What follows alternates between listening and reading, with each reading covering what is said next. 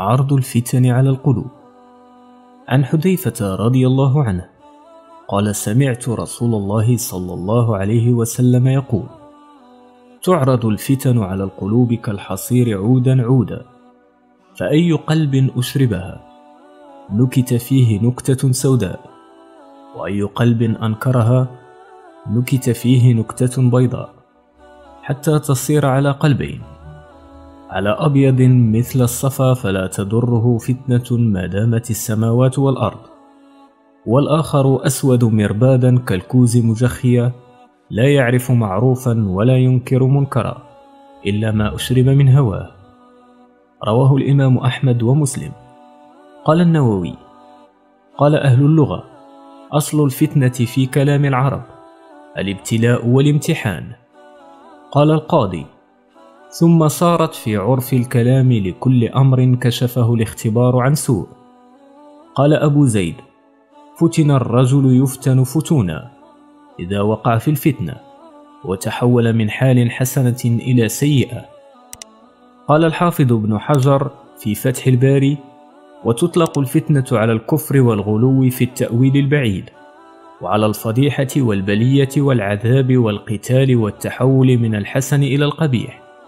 والميل إلى الشيء والإعجاب به وتكون في الخير والشر. كقوله تعالى ونبلوكم بالشر والخير فتنة. انتهى. قلت والمراد بما في حديث حذيفة رضي الله عنه؟ الفتنة في الشر. لقوله فأي قلب أشربها نكت فيه نكتة سوداء وأي قلب أنكرها نكت فيه نكتة بيضاء. والله أعلم.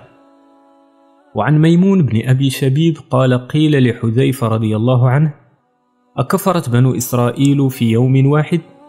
قال لا ولكن كانت تعرض عليهم الفتنة فيأبونها فيكرهون عليها ثم تعرض عليهم فيأبونها حتى ضربوا عليها بالسياط والسيوف حتى خاضوا خاضة الماء حتى لم يعرفوا معروفا ولم ينكروا منكرا رواه ابن أبي شيبة وعن أبي ثعلبة رضي الله عنه أنه قال أبشروا بدنيا عريضة تأكل إيمانكم فمن كان منكم يومئذ على يقين من ربه أتته فتنة بيضاء مسفرة ومن كان منكم على شك من ربه أتته فتنة سوداء مظلمة ثم لم يبال الله في أي الأودية هلك رواه نعيم بن حماد في الفتن.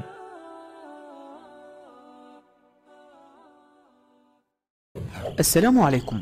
لا تنسوا الإعجاب والإشتراك في القناة تشجيعا لنا لمزيد من العطاء والتألق.